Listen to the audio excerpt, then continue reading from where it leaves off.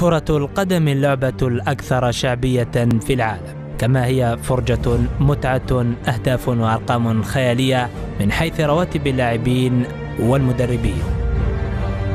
كرة القدم هي أيضا إصابات عقوبات وإقصاءات. المتتبع لكرة القدم في الجزائر ينبهر بالرواتب الخيالية للاعبين والمدربين لكنه ينسى ويجهل جانبا مظلما ومخيفا يتعلق بالإصابات. الأمراض أو وفيات اللاعبين فمن يتكفل بهؤلاء في هذه الحالة أو تلك؟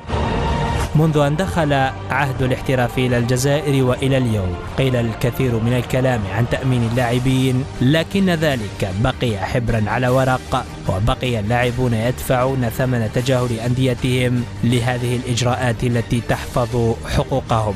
حسب آخر المعطيات فإن الرابطة الوطنية المحترفة لكرة القدم قررت أخيرا التحرك في هذه القضية وأكدت بأنها ستضرب بيد من حديد في حق كل ما يخل بما جاء بخصوص الضمان الاجتماعي حيث ألزمت الأندية المحترفة بدفع ما قيمته 270 ألف دينار جزائري عن كل لاعب.